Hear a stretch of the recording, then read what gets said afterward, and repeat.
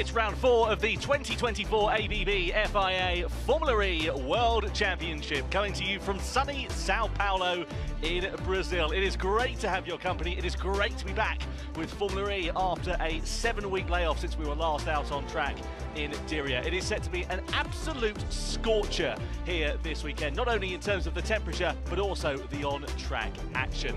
Very much looking forward to seeing what is going to unravel here on race day as well. We've got free practice two coming up for you this morning, followed by qualifying a little bit later on, and then the E-Prix gets underway here this afternoon. One of the most densely populated cities in the world is Sao Paulo. Some 20 million people living here. And there is such an atmosphere down here, both on the circuit and around the venue as well. It is a hive of activity. In free practice one yesterday, we saw Mitch Evans leading a Jaguar 1-2, Nick Cassidy in second place. Jaguars performed incredibly well here last year with a podium lockout. You can see here the calendar for 2024 after the six-week, seven-week layoff we had from Saudi Arabia. We are now in Sao Paulo. A couple of weeks' time, we head over to Tokyo in Japan for the first time. Then we've got a double header in Misano before Monaco, and then it's double headers for the rest of the season in Berlin, Shanghai, Portland, and then London to complete the season. You can see there as well three different winners in the first three races of the season. Will we see four here this afternoon? Well, this man here, Mitch Evans, will be looking to hopefully take top honours. Alongside myself, Tom Brooks, we've got Simona Di Silvestro as well as Billy Monger. Simona, yesterday in FP1 we saw some really exciting action and Jaguar sort of ending the session where they ended this time last uh, year. Yeah, definitely. They uh, they started off pretty strong. What is uh, quite surprising that Envision wasn't wasn't really close to them. So uh, Jaguar just uh, yeah came out of the blocks um, really quick, and um, hopefully yeah, they can keep it up this uh, throughout this session and especially in qualifying as well. And Billy, this Sao Paulo circuit, it's a real proper old school Formula E track. Long straights, really bumpy, lots of heavy braking zones, lots of opportunity for shenanigans. Yeah, there's definitely going to be some shenanigans, particularly in the race when it comes to the sort of peloton style race we had here last year. But as a circuit itself, it's a real challenge to the drivers because of those big braking zones. It's the bumpy nature of the circuit. It provides a really good challenge, and you really got to get your eye in and build your weekend here in Sao Paulo. I think if you go too hard too soon, make a mistake in FP2, it can knock your confidence as a driver, and uh, you don't want that. And energy management this weekend is going to be pretty critical, I, I reckon, because we're expecting sort of a peloton style race, drivers sort of not really wanting to lead in the opening stages, conserve energy, and then they'll probably go gung ho towards the end. What do you reckon? Yeah, definitely. We saw it like uh, last year. That was really the first race where uh, where it was really this, like you said, peloton race. Nobody was going to want to lead. You know, it's really hot out there as well. So um, how you're going to manage the energy, manage the battery temperature is uh, is really critical. So uh, uh, I think it's going to make it really exciting. I think maybe it's going to be a little bit dull after the first lap, but you know, the first lap is going to be a bit crazy after a little bit slower, kind of everyone getting into the groove. And then I think, yeah, around in the middle of the race, everyone is going to start go crazy. Well, we just saw uh, Antonio Felix da Costa and Norman Nato having a bit of a play about in the pit lane. Green light is about ready to come on at the end of the pit lane as the drivers queue up. Uh, interesting, Antonio Felix da Costa having one of his best sessions of the season so far, up in eighth place. Billy, he's had an incredibly difficult 2024 so far, pointless. Uh, this year on the board. He's really got to have a good weekend to try and turn his fortunes around. Yeah, he definitely needs to, you know, like you say, have a strong weekend because he knows the package is capable of it. You see what Pascal Wehrlein is able to do with that car. And I think, you know, Antonio is an experienced guy. He's won Formula E before. So for him, it will be okay, reset, refocus, make sure this weekend we bounce back. Uh, there's still plenty of races in the season for someone like Antonio to put a run of form together, but he needs to do it sooner rather than later. And obviously, it's quite early in the morning here. It's just gone 7:30 a.m. local time as the green light comes on and we get free practice two underway. In terms of the track conditions and the weather conditions, how different do you think it's going to be, Simona, between here qualifying and then the race? It's going to be different in the sense because, uh, you know, it's a, a, street track, so there's going to be track evolution as well. So just getting the track more cleaned. And uh, but I think what's really important is this session now a little bit. You have, uh, you know, your high power laps you have some uh, energy saving laps. So you got to get all these things through and um, towards the end of the session you really need to practice your, your quali lap. So uh, yeah, it's an interesting session, but for sure the track evolution is going to go uh, much better and much quicker. We see the drivers now out on track as we get free practice two underway. See who's going to be setting in the sort of early lap times. You can see just how bumpy this circuit is. In, in, fact, actually, in the race last year, we saw Nick Cassidy getting a bit of air over this very part of the track, Billy. Yeah, I mean, the bumps around here, they're definitely a challenge for the drivers. That that moment Nick Cassidy had last year, I'm pretty sure we, we're hoping that he doesn't have a moment like that again this weekend because, you know, I feel like you can get away with that once, but maybe not twice. No, absolutely. Well, of course, just getting some uh, heat into the tyres, ready to go. Obviously, Simona, you've raced in Formula E. Um, what's it like when you you know you're out on track? You know you've got free practice two ready to go, but also qualifying's not too far away. Is there sort of a heart in the back of your mind? You're thinking, I want to go fast, but also crucially, Wolves qualifying. Don't want to muck it up for that. Yeah, well, you you know as a driver, you go out there. Copy. Really strange. Can you crawl home safely? You think? Some issue there with yeah, that's, Mi that's Mitch Evans. Just been a team radio asking, uh, well, the team asking him if he can crawl home. So clearly something wrong with the Jaguar and uh, the car as he just goes off to the runoff area. Now this is interesting actually because he was bestowed a similar fate this time here last year. You can see in there, look, the car looks like it's crabbing almost on the straight. Yeah, the, maybe something, uh, I don't know, it looks really, really strange what's uh, what's happening, especially with the steering wheel, how it's... Uh, yeah, it looks like maybe suspension related, yeah. that. Yeah, I wonder if he might have clipped the wall on the outlap or something, or maybe had a bit of contact perhaps coming out of pit lane. It was quite uh, busy coming out of there, but as I say, just bestowed a similar fate this time here last year. If you remember uh, back to Brazil, he was 22nd in free practice two. What Jaguar then did was uh, went to their sim and reserve driver, Tom Dillmann, stuck him in the simulator. He did some 700 laps and managed to turn the setup completely on its head for qualifying, and he managed to go off and take the victory. Uh, front drive shaft or something, but something in the front end. Okay, copy. Do you, can you tell what side might have the problem? No. no I can't tell. Yeah, so what he's describing is because the new Formula E car at the front, how the braking system works, it, it has like a yeah, drive shaft at the front as well. So um, it seems like it could be some issue there on uh, why it's, it's not working properly. So. Yeah, and also obviously they've got different powertrains in, in the car in terms of you know you've got Jaguar, you've got Porsche, but the front powertrain, the FPK as it's known, is a is a spec Formula E part. So if that's something they've got to replace, it's well, it's not going to be the quickest job in the world, but it, it's definitely going to scupper his running for the remainder of FP2. You would have thought, not the way the Kiwi would have wanted to kick off race day here in uh, Sao Paulo. So let's see what Jaguar are going to be able to diagnose. Just looking here at Sebastian Buemi, out on track in the Envision. As I said, Jaguar powertrain cars uh, having had good runs so far uh, in Brazil. In terms of the championship, though, for Buemi, well, eighth in the standings. Of course, if you remember back to Diriyah race two, he sent it into the wall in qualifying in quite spectacular fashion and ended up having his first ever DNS, did not start in Formula E. Obviously a long break between now and then, so he'll be looking to try and uh, turn those fortunes around, put that behind him and set some strong lap times here in FP2 as we see Mitch Evans and the team pushing his car back into pit lane here, Billy. Yeah, you can see them doing that now, so obviously not a good start to the, the day for Mitch Evans there. Hopefully they can get all of those issues sorted sooner rather than later. Sebastian Buemi has just been pipped by his teammate, but the times are starting to come down now. Still a little way off where we were yesterday in FP1, just about two seconds slower than FP1 times. So there's teams still building themselves into the day, and the drivers, you know, picking up from where they left off uh, at the end of FP1.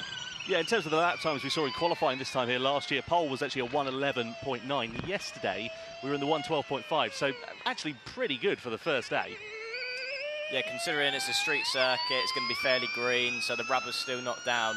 That that will the times will drop quite significantly throughout the, the weekend. I think the temperatures are going to play a part too when it comes to managing the battery temperatures and everything like that and just getting the real performance out of the car. This is an interesting part of the circuit that we're on board with Pascal Wehrlein now coming through four, five and six. It's a real challenge after that braking zone. You're not quite braking straight. You've got that little kink before. So and it looks very bumpy on the entry to that too so it's a real challenge to pick your braking point and to get close to the walls because you've got to be close to the walls millimeters away if you want to be fast here We saw a few full power runs in uh, free practice one yesterday as well. And what I mean by that is normally under these sorts of conditions, drivers would have 300 kilowatts of power at their right foot. Um, but when you go into attack mode, you've got 350 kilowatts, another 50 kilowatts worth uh, more worth of power.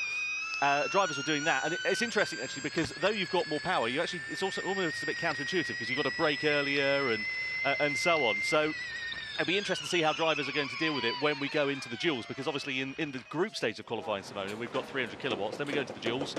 That extra 50 kilowatts of power could lead drivers to make mistakes. Yeah, it's a, it's a huge difference when you uh, where you're braking. It uh, makes a makes it really tricky in that sense because you uh, you're going to be maybe like 25 meters early on the brakes. Um, and especially in the duels, you just go out and have to commit to it. So um, it's it's a really Vision difficult. taking all of the curbs at T5, all of the curve at T5. that's interesting. You know, that's just information to uh, to Jack just uh, so from from the team saying that some other people are using uh, different lines out there, and um, that's very good information for for the driver because he can practice uh, that and see if it's quicker and, and things like that. So uh, you know, you just get on with the program much quicker.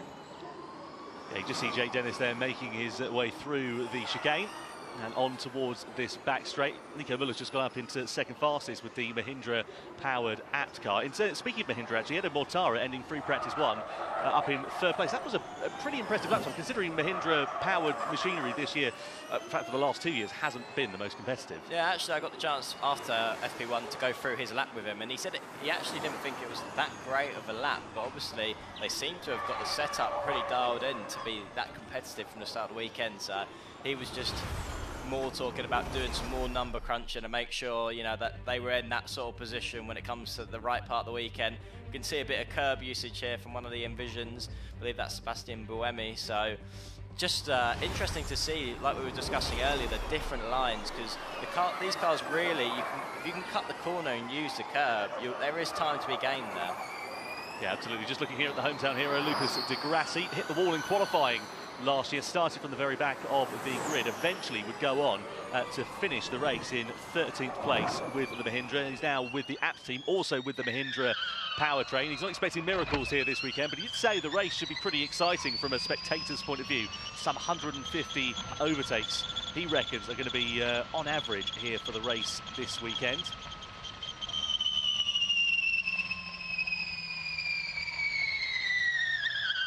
So just over 21 minutes left in this session. Let's head down to the pit lane for the first time and chat to Saunders, who I believe is with Jaguar team principal James Barclay.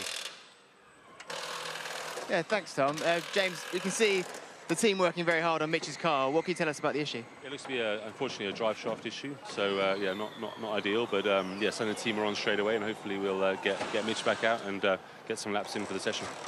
Not to overly dwell on reflecting on last season, but there was a bit of an issue when it came to free practice going into quality, and then the race obviously turned out very well. Not not too worried at this point. Uh, maybe on a sample of one or two, but on average, no, I think FP1s were pretty strong for us last year in FP2. But listen, these things happen. They're not ideal when they do, um, but we need to understand what, what's gone wrong here. Uh, the common FPK and common drive shaft, so yeah, it's not. It's a part we need to understand where, where any issues have, have occurred since yesterday. Well, hopefully everything gets resolved and Mitch can get out again. Um, but let's look forward to qualifying. What's going to be the optimum strategy here? Because we're talking a lot about maybe not being the best position to lead. Does that reflect in qualifying, or are you just still going for pole position on those points? Yeah, I mean, qualifying's always always ideal to qualify well. You have control of your destiny then. So, yeah, from my perspective, team perspectives, is you always want to qualify well, and you can then, yeah, make your decisions from there. If you if you if you're a long way back, it's not impossible, but you have a, an uphill battle. So it's always good to optimize qualifying and, and have more options to you. Thanks, James. Thanks, thanks. Yeah, good to hear there from James Barclay and uh, the Jaguar team, just telling us the issue with Mitch's car. Having a look here at Edo Mortara, that was him just running off the circuit. Does it on the timing screen there, Billy, as well? It looks like he's under investigation for an overpower in regen. So, you know, they're having a little look into what potentially is going on with that car and Edoardo Mortara. Yeah, not the first time we've seen uh, a bit of overpowering as well. Uh, we saw one of the drivers yesterday that was fined a thousand euros for uh, overpower usage. The name escapes me now, actually. But um, yeah, you've got to be a bit careful of that. You see Max Günther here. Uh, Maserati, a lot of turbulence in the off-season, a lot of key personnel leaving. uh, Simona. But Max Günther's actually been a real star with that team. He's put in some very strong performances so far this year. Yeah, definitely. It was uh, it was really good. And uh, yesterday, actually, his teammate was uh, quite quick. So uh, it seems like they they start to can understand like their package and. Um, especially going into a season, like you said, after the, uh, all the, the changes and things like that, I think it's pretty good to see, uh, to be honest. Yeah, absolutely. Just looking here then at uh, Edo Mortara making his way out of the final corner, comes across the timing line, goes fourth quickest. So again, another strong lap time for Mortara. Could we see Mahindra putting a bit of an upset uh, going into qualifying? This is certainly one of the strongest performances we've seen. You've got Muller in the Mahindra-powered Abt in third, Mortara in fourth. I know there's just under 20 minutes remaining of the session, still plenty of time for uh, things to change, but still, that is a strong start to the weekend for them. And what about DS Penske as well? Possibly the biggest personnel signing in Formula E history. Phil Charles from Jaguar now moving over to, uh, to DS Penske. Billy, if that's not a state of intent for their future plans, I don't know what is. Yeah, it's definitely a huge step in the right direction. And, you know, motorsport is all about the team that you build. So it's important to get the key personnel that can make a difference in. Uh, in order to get that team in the right spot. And obviously they felt that was a move that they needed to make. So they've, they've gone ahead and they've got that big move and bringing him on board. And I'm sure that's going to only, you know, in the future and the longer term vision for the project, is going to get them where they want to be. Just looking here at Jehan Daruvala, the Indian rookie driver, one of only two drivers uh, to have not raced here at this uh, Brazil circuit, of course, along with Nyck de Vries. The, the message because uh, it's in the braking zone there after P7. Okay, sorry.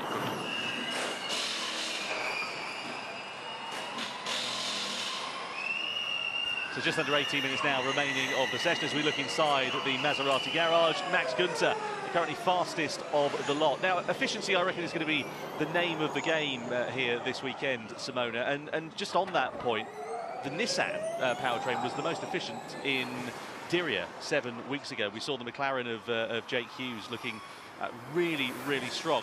Just talk to us about efficiency. What, is, what does that mean for someone who's just tuning into Formula E for the first time? You need to, um, yeah, in the race you need to save energy and um, actually how you do that is with a, a bit of lifting before the corners and uh, uh, how you regen the energy actually is really uh, the most important part, especially with the, this Gen 3 car you can do, you have so much capacity to do it. So um, for a team, they really need to be um, on top of that. And uh, some teams are really efficient, like you said, like the Nissan was, uh, was quite good. They weren't quite good in qualifying, so it, it was hard to kind of see the result at the end. But um, that's what makes Formula E really interesting because you need to be good on a really high power lap and have a good setup for that. But uh, your powertrain also needs to, to be efficient and how the software is, is done for, for each race. So I think there might be some surprises this weekend because we've had a pretty long break and uh, um, like you said, you know, Edo has been quick as well, so uh, we'll see if they did their homework to be really good. Well, let's head down to pit lane then and catch up with Saunders. He's got some information for us about the Mahindra. Thanks, Tom. Yeah, I just, I'm just down here at the garage. They're doing a bit of a tyre change. And I want to reflect upon their season so far because there's definitely a, a better showing of one lap pace that we've seen so far in free practice one and a little bit here in free practice two. Obviously, it only counts when they do it in qualifying. But where they have been very good so far is in the races at making up positions. There are no teams or drivers that have made up more positions than Edo Mortara and Nyck de Vries. So if they can get their qualifying right today, they put themselves in a very good position to master that strategy and maybe even push for a podium. And that would be astronomical for the team. Yeah, very good point there, Saunders, actually. And let's see what uh, is going to happen. Of course, there's a bit of intrigue now in Formula E as well. New trophy that's going to be awarded at the end of the season, the manufacturer's trophy. So if Mahindra could get themselves onto the podium, uh, that would be a very welcome sight. We just saw Max Günther uh, going fast. He's now just dropped down to third place. But just a bit of breaking news in the uh, commentary box that he's been awarded a 20-place grid penalty for changing the gearbox before free practice two. So, well, that effectively means he's going to be starting right at the back of the field. And I was talking to Dan Ticktum in the lift this morning as I was uh, just heading out to the circuit. And he said that qualifying is going to be absolutely critical. And, well, that's not what uh, Max Günther would have wanted at all there, Billy. No, definitely not, and especially because it looks like they've got stronger performance here as well. It seemed like an opportunity for the team and for Max Günther himself to really capitalise on that and, like you say, qualify at the sharp end, put themselves in a good position for that peloton star race. And now he's going to have all the work to do from the back of the field. So yeah, that is a real shame for him and the team. Absolutely. Just looking here then at Antonio Felix da Costa in the uh, second of the Porsches, 13th on the car, 13th fastest so far in this session. As mentioned earlier on, needs to try and right the wrongs of the start of the season. He just seems so lost in Diriyah a couple of months ago. Was not able to get the maximum out of the car, was struggling with a base setup, trying to find the right direction. huge, uh, huge hit on the bump. Attention to Jake, attention to Jake. Yeah, yeah, it's okay, it's okay. Yeah, I had a huge bump. Uh, check the front of the car when I come back. Copy. So that's Norman Nato just saying he's had a huge hit on one of the bumps. And uh, we mentioned about the bumpy nature of the circuit. So uh, not only is it going to rattle your fillings out of your teeth, Simona, it's uh, also could play havoc with the car. Yeah, it's uh, definitely not good for the car, but um, it, in practice, you know, you, you do try to go down the straightaway. You saw some people going, not going really straight, you know, trying to avoid some bumps. And uh, in practice, you try different lines, and uh, it must be that he went a little bit offline to what he was doing before and uh, just had a huge, uh, huge hit under the car. Yeah, absolutely. Just looking here then at the Mahindra, this is Lucas di Grassi, the hometown boy. Antonio Felix da Costa, he's on a uh, on a push lap here, so he's got full power. That's indicated by the pink flashing name. So that means he's uh, in attack mode effectively. So he's got that extra 350 kilowatts of power. So just doing a, a bit of practice for qualifying. If he's lucky enough to get himself into the duels, that is the amount of power he'll have at his disposal. And you can see there, now brings us up to a Porsche 1-2. Jake Dennis as well, also in the Porsche-powered Andretti real contrast in fortunes that we had in Diriyah for him. Won the race on the Friday. Come the Saturday, he said that that was the worst car he's ever driven in Formula E. That is definitely something that is only really applicable to Formula E. the fact that there can be that sort of change around from one race to another. Winning by 13 seconds to being right in the middle of the pack. You just don't see that in any other championship. But I think that's what the fans love about Formula E is, you know, you don't really know who's going to win the race when you turn up each day. Yeah, that's it, isn't it? And also, uh, again, contrasting fortunes for uh, Oliver Rowland. Pole position he managed to get on the Saturday. On the Friday, it's kind of there and thereabouts, but again, really impressive stuff from Rowland and a good statement of intent as they look to try and build themselves up the order.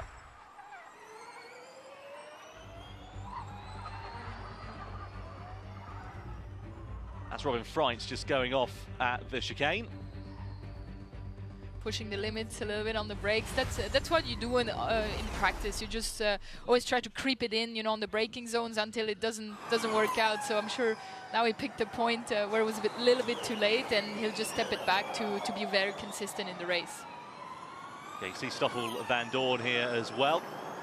Uh, he'll be hoping for a similar result in qualifying to this time here last year. Took pole position uh, when he was the reigning champion in Formula E. Now, of course, that title has over to Jake Dennis, but Vandoorne and DS Penske very much looking to try and get themselves competitively and consistently up the order in uh, 2024.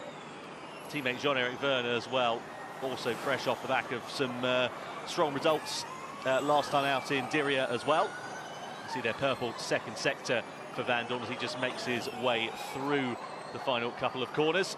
Ready to come across the timeline. Where is this going to put the former world champion. He goes to the top of the pile by seven hundredths of a second. So good statement of intent there for him. Vergne's just uh, backed off on this lap that he was on. Let's have a look at a replay here for Robin Frijns. This is going to be a look at the lockup that he had just coming in towards the chicane here, Billy. Yeah, you can just see on the. In fact, this is another one. This is another mistake. This is down at turn nine, I believe. Yeah, he's had a little bit of a bit of a moment there just lost it under braking. He doesn't seem confident with what he's got in terms of, you know, the balance and the braking. It's a bumpy circuit, like we said, the nature of this street circuit. But, yeah, he's having a bit of a challenge out there. Yeah, look like the rear just sort of stepped out. Of course, these cars generally pretty heavy on the front brakes. They do have rear brakes uh, on them, but they're, they're, primarily, you know, front front braking cars. But clearly the the uh, the car just a little bit upset going into that braking zone. So you can see here the Andretti team just putting a new set of boots onto Jake's car. Of course, only two sets of tyres they have in uh, Formula E over the course of the weekend, all part of the uh, efficiency goal that Formula E has. It's been net zero since day zero. That is the the big moniker, and uh, having fewer sets of tyres over the course of the weekend all adds to that as well. As we look at Oliver Rowland in the Nissan, just making his way through the final couple of corners here. Simona, what do you make of the attitude of that car? Yeah, he looks really busy on the wheel. Uh, you can see what what is tricky in Formula E is when you go on power, you uh, really fighting the rear because it has so much power, and especially with the with this tire as well, it's uh, that's been a big challenge for uh, for the drivers because uh, on how you put the power down. Uh, but yeah, I, it seems pretty good, you know, P2 right now. So um, yeah, I think he can be pretty happy with that lap. So yellow flag out on track here as well, down at Marshall yeah, Post when I run six. I feel like I locked the outside front at one, but if I don't do that, then um, it's really on the rear.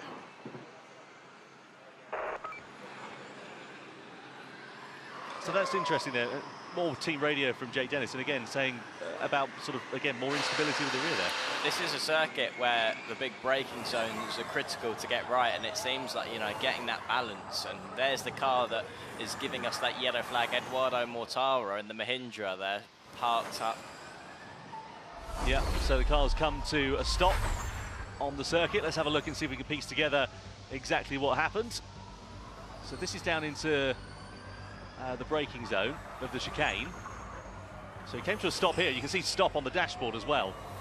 Yeah, he's definitely having something of some sort of error because you can see on the dash there it was telling him to stop. So the team will uh, give him some more info on that.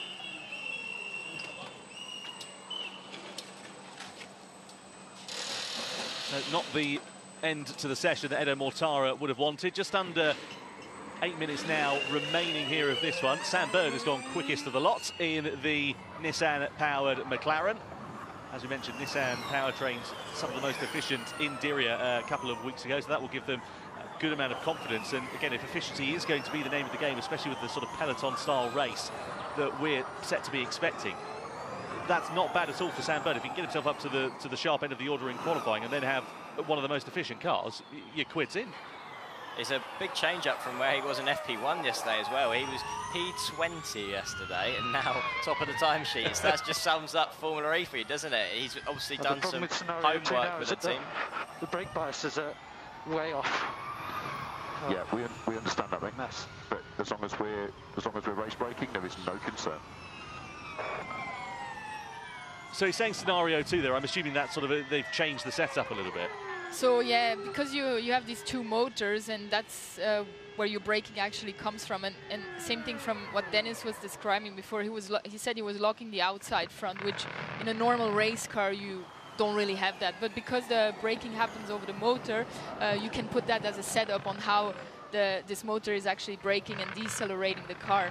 And uh, actually, you don't have a really normal brake bias in the car like you would in, normal race car. You do that with the with the software, so uh, it's very tricky. And, and that's why a lot of people also that haven't driven Formula E struggle a little bit with the with the braking setting and red flag as well for for Mortara. But but that's the tricky part because you have all these settings that you don't grow up with working with, and um, and and you need to find what works for you, and also how much pressure you have on the on the pedal is, uh, is quite different. It makes it really different. So you need to get your head around it a little bit, and you need the team to help you as well to get really that feeling you need.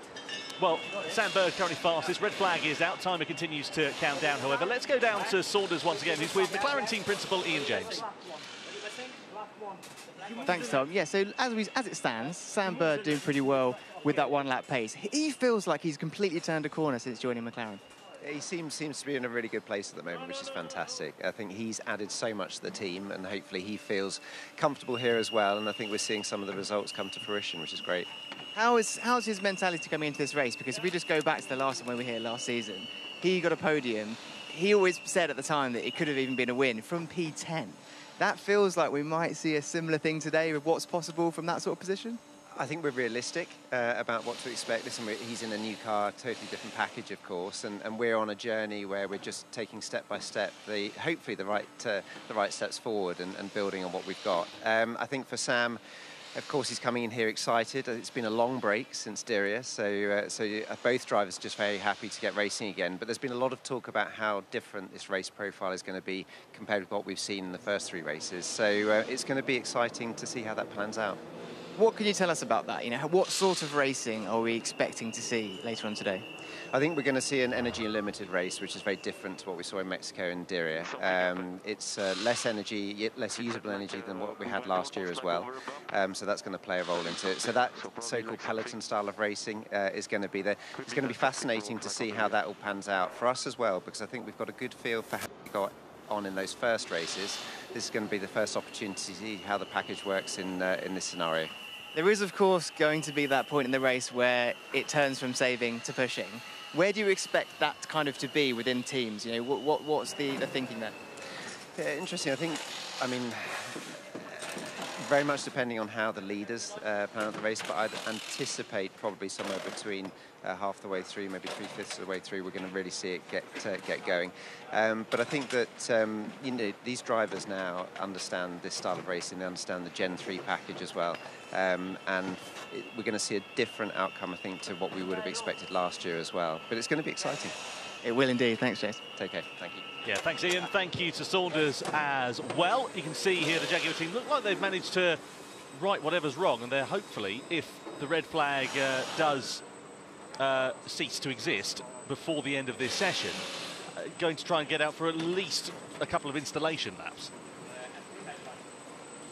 Can see Jake Dennis's car just being pushed into the uh, Andretti garage here as well. Dennis uh, currently sitting fourth quickest at the moment. See uh, four different powertrains, or three different powertrains actually inside the top four. Four different powertrains inside the top um, five as well. So uh, yeah, interesting how the unpredictable nature of Formula E continues. But Sam Bird currently fastest by just under a tenth of a second. Vandoorne second, then you've got Rowland Dennis, and then the two Heuer Porsches with Wehrlein ahead of Da Costa. Nyck de Vries also quite high. Contrasting fortunes to this man, his teammate, Edo Mortara, though, out of the session. Computer says no as the car comes to a halt. And it's now having to be recovered as well. So, uh, well, whatever issue that is, hopefully the Mahindra team are going to be able to right those wrongs. Yeah, hopefully they'll be able to get him, you know, and get themselves as a team to be able to fix that issue, to get themselves in the right window for qualifying, because obviously qualifying is going to be critical for the race weekend. So, and there was pace in that car yesterday. So at least as a team, Mahindra know that you know we've got pace in the car. We've shown it yesterday. Nyck de Vries up in seventh. You know, so he's sort of you know flying the flag for the team in FP2, but they need to make sure these issues don't happen when it comes to crunch time of the weekend, where you've got qualifying and the race. And obviously, it was, you know, six minutes before the end of the session, Simone. It, I suppose it doesn't feel that significant because he's been able to get most of the session done. But what sort of an impact is that going to have on, you know, the driver and the team? It does because the at the end of the session, that's usually where you put down your quali laps, uh, your high-powered laps, and uh, uh, as a driver, that's really where you dial yourself in, you know, and uh, that's really what's important. So that's not ideal, uh, but you know, it's racing, and these things happen, and you know, they're professional enough that once the, uh, it comes to qualifying to, to get get his, his stuff together and, uh, and be all right. Uh, just confirmation, the session will restart under short call, so that means all drivers and teams have got to be primed and ready to go uh, for this one. Uh, also, uh, different race director here this weekend. No Scott Elkins. Oliver Gradowski is the race director. Used to be part of the championship back in the early days of Formula E uh, and has been in race control for the first three rounds of the season as well, getting things back up to speed as we do finally get that green flag underway with just under a minute left of the session. And uh, all the drivers heading out onto the track. So they're not going to get a chance to get a flying lap in, but crucially, they'll be able to do their important practice starts. Yeah, they'll be able to get stuff that's relevant for the end of the day the, with the races. But yeah, no chance to any more flying laps with only 40 seconds left of uh, FP2. So yeah, for the drivers, it's more about just going through the procedural sort of stuff. Yeah, so down in towards the uh, chicane we go. This is turn one, turn two, and turn three. That's where attack mode will be activated in the race. You'll see the drivers going for a wider line through there. They must hit all three of the loops in order to activate the extra 50 kilowatts of power uh, that they will have available for them. And this is Mitch Evans. Well, 20 seconds where he finished free practice two uh, this time a year ago. It's exactly where he's going to finish a year later and if you remember, he was able to uh, turn his fortunes around. Of course, very different reasons from why he finished 22nd uh, this time uh, 12 months ago. But nonetheless, uh, let's see what he and the team are going to be able to do with that significant loss of running uh, they've suffered here in this session. So there we are, checkered flag is now out, all the drivers are going to come through, take the checkered flag, and then they'll be ready to do their practice start procedures. Making their way through the final couple of corners uh, across the timing line, then the next time they come round, that is when uh, they will begin uh, those practice start uh, procedures. Uh, and starting a Formula E car, Simona, it's, it's very different to getting a traditional car off the line.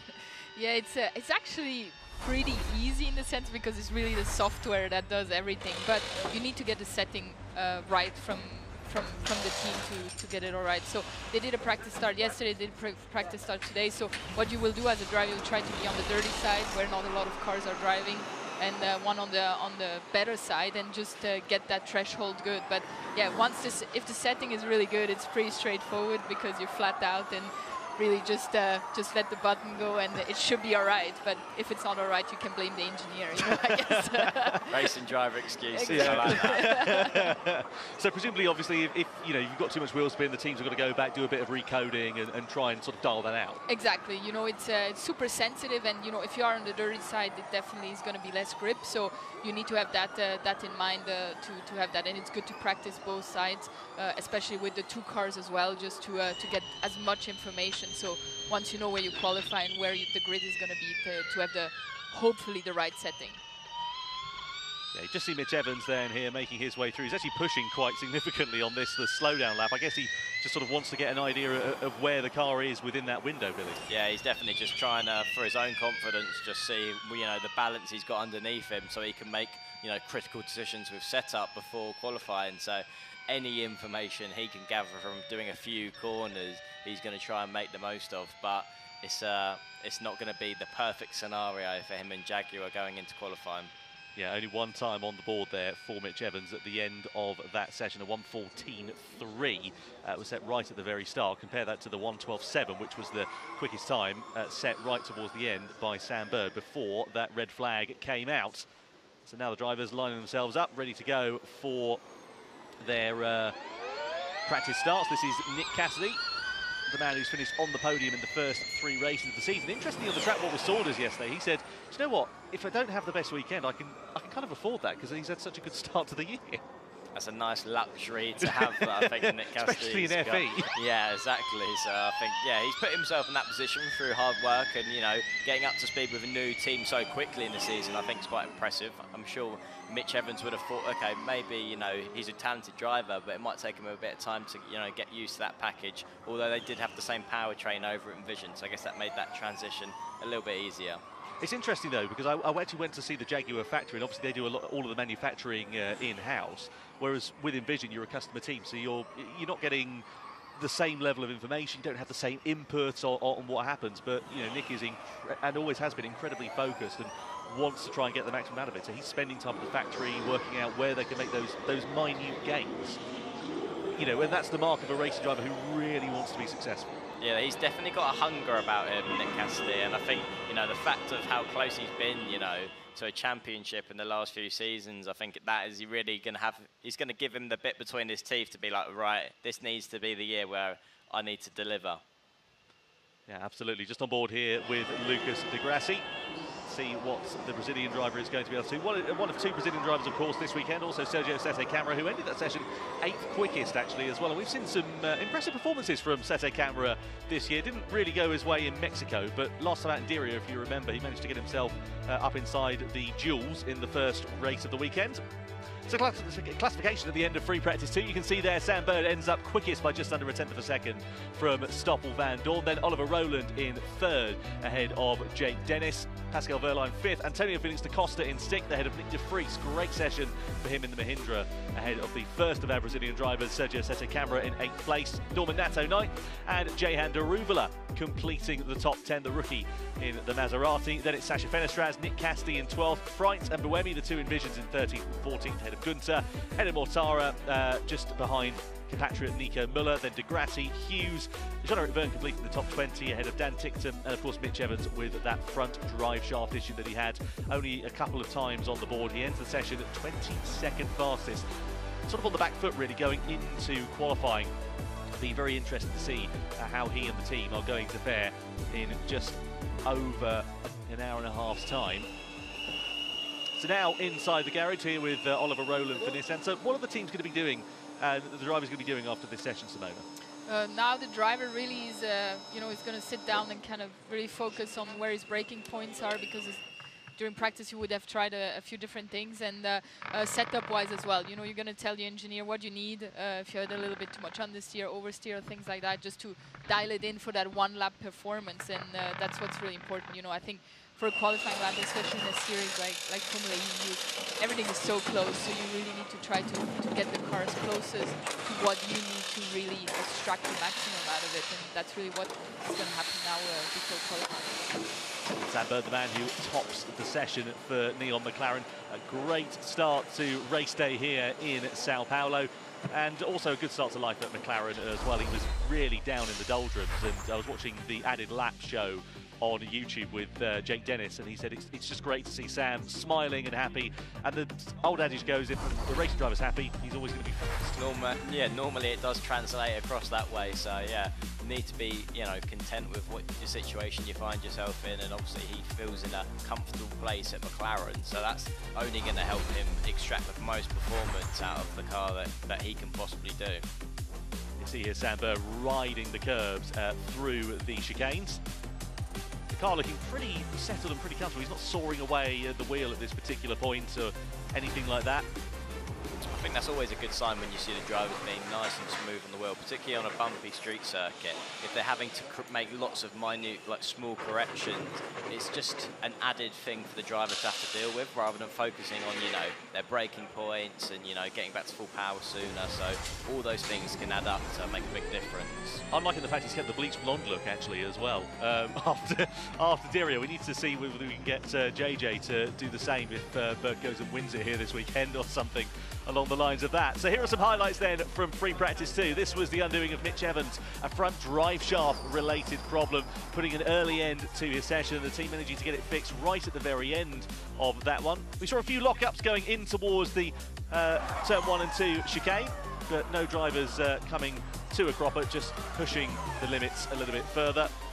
Uh, but a really interesting free practice two session. The circuit definitely getting faster and drivers just getting themselves lined up and uh, ready for qualifying here. This is Robin Frijns just pushing the limits a little bit too much. And also Edo Mortara, because he stopped saying on his dashboard, and that's exactly what he did just a corner or so later, stopped on the outside of the circuit. The red flag was brought out with just over six minutes to go, which meant that once it resumed, it was this man that was always going to be fastest, Sam Bird in the NEOM McLaren. A perfect start to Saturday here in Sao Paulo for the British driver. And let's see whether he can convert that top position in free practice to a top position come qualifying. Thankfully, Mitch Evans was able to get out onto track right before the end of the session, just get a couple of faster lap times in, and also, crucially, as well, get a practice start in, just hopefully to give himself and the team the best opportunity possible uh, to get a strong result into qualifying. Yeah, yeah. Yeah, so the drivers now making their way down towards the weighbridge, which is where they'll be weighed with their uh, helmets and all their gear on just to make sure they're all complying with the regulations and uh, so on and so forth. See Robin Frijns and Sebastian Buemi there just having a discussion with one another. Sam Bird and Jake Hughes, I'm sure, will be debriefing with the NEOM McLaren team here uh, right towards the end of the session. Billy, all smiles though in the McLaren camp. Yeah, definitely happy faces over there and Sam's experience, he'll know that, you know, free practice is not the end of the weekend. The, you know, the qualifying and the race, that's where the points are scored. So, you know, he'll keep himself switched on so we can see Mitch Evans having a wander down the pit lane, discussing things of where did we go wrong with his engineer. Yeah, absolutely right. You see Norman Nato and Jake Dennis all doing the same. They'll be dialing back to the team at base as well. Anyway, thank you to Simona, to Billy, and for myself for joining us for FP2. We'll see you for qualifying very soon.